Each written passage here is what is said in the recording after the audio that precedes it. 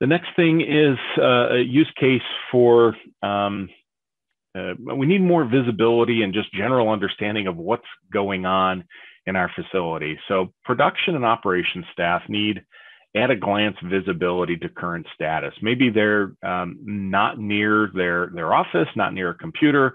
Uh, they're out uh, tending to the needs of the facility, whether that's a manufacturing facility, uh, some big process uh, happening. And, and um, uh, another thing that's, that's also advantageous is by making production status available to everyone, we want to encourage everyone to be uh, just just keep production moving. It's a it's an incentive that it's kind of like a scoreboard. You see that, and uh, you just want that to be available. So uh, what we're talking about here is something like Andon.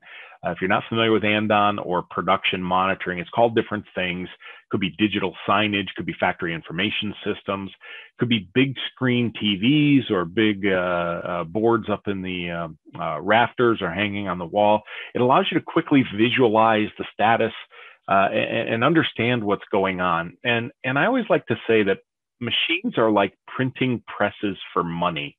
Um, if if uh, you, you, realize this that that you know you're making a profit on on every product that's coming out of the machine, or if you're running a process, continuous process, uh, you know whatever you're making or manufacturing, there's a profit in, uh, uh, associated with that. And if and if it's not running, uh, it's not making money, and if it stops, you need to get that running quickly.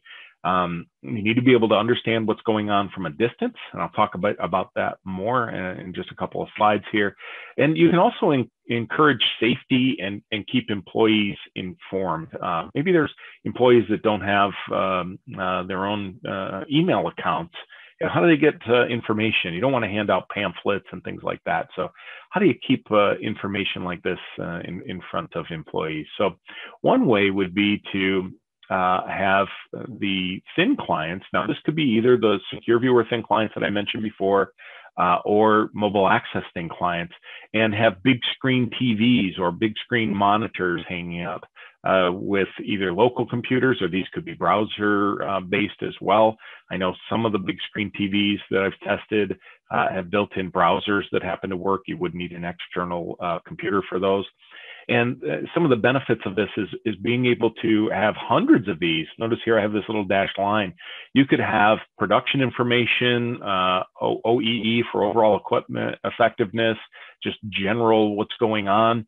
You could have uh, one of these in the cafeteria, let's say, or break room, and provide information about um, what's going on, the weather, the stock price, um, uh, just information so that, again, keeping employees informed. This could also be a facilities type thing where you're monitoring energy usage or building automation type type things. And you can have this rotating between different screens.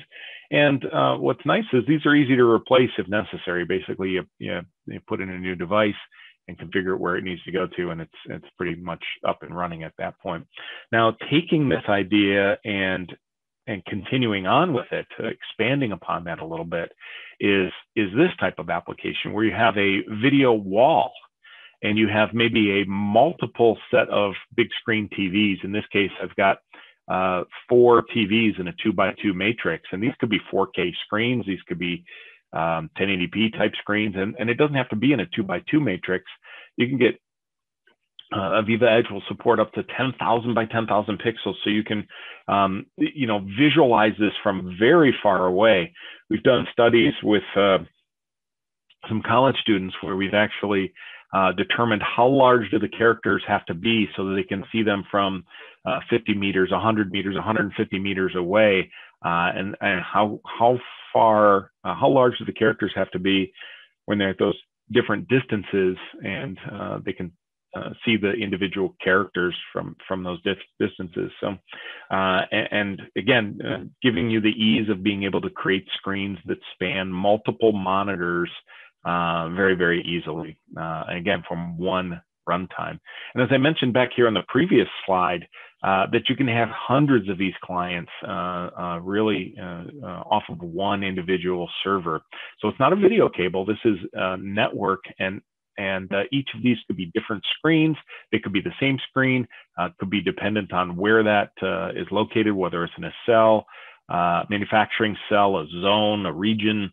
um, cafeteria, et cetera. So lots of different capabilities when it comes to that.